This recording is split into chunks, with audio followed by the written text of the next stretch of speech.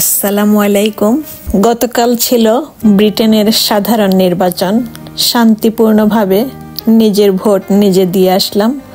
আজ রেজাল্টও পেয়ে গেলাম। যেটা আশা করেছিলাম সেটাই হলো। আজ কিংপ্রন বা গলদা চিংড়ি রান্না করে দেখাবো। এখানে ধুয়ে পরিষ্কার করে চিংড়ি নিলাম। প্যানে তিন টেবিল চামচ তেল দিলাম। চিংড়িগুলো হলুদ লবণ দিয়ে মেখে ভেজে নিলাম। কখনো কাউকে তার পাপের দ্বারা বিচার করো না।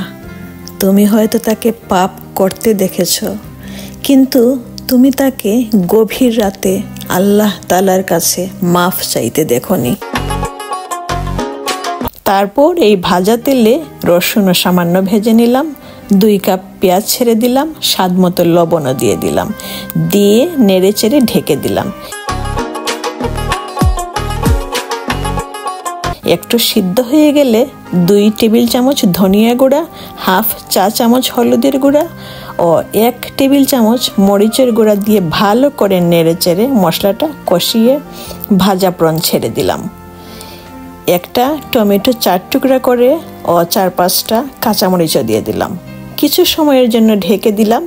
ভুনা ভুনা হয়ে গেলে গার্ডেনের ফ্রেশ ধনিয়া পাতা দিয়ে নামিয়ে নিলাম।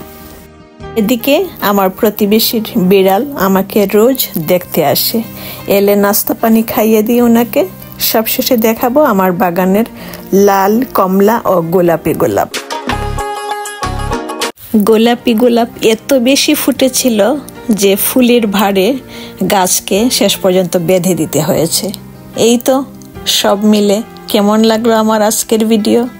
কমেন্টে জানাবেন। আর ভালো লাগলে একটা লাইক দিয়ে সাবস্ক্রাইব করেও পাশে থাকতে পারেন।